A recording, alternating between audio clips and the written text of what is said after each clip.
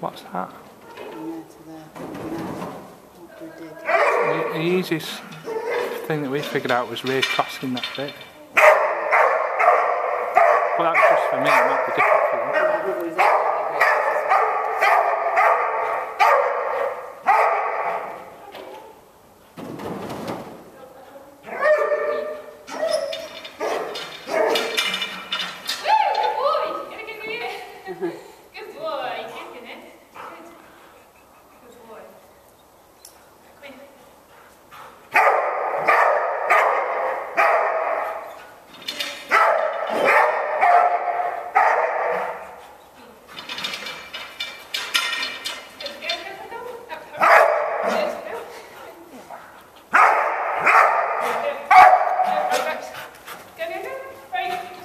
Well, he jumps so well, doesn't he?